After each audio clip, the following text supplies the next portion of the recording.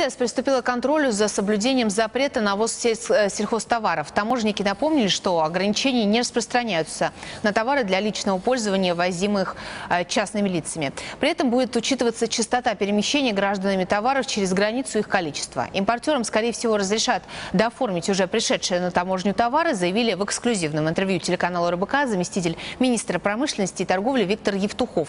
Однако компенсации за разрыв контрактов с западными контрагентами российские компании не получат. то решение, которое было принято, это решение попадает под э, такое понятие, как форс-мажор. А в случае форс-мажора, как вы знаете, э, э, хозяйствующие субъекты друг перед другом ответственности не несут. Поэтому здесь э, никаких компенсаций, я думаю, предусмотрено не будет.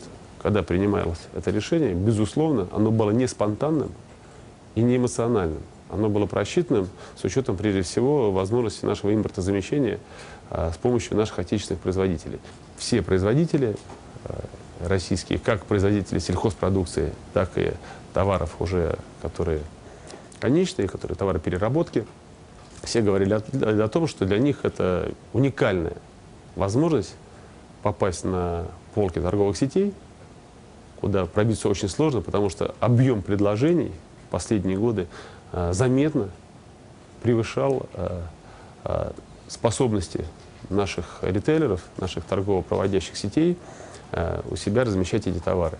Причем превышал, если не ошибаюсь, в пять раз. То есть, соответственно, у наших производителей появилась э, реальная возможность свой товар полностью реализовывать через наши каналы продаж.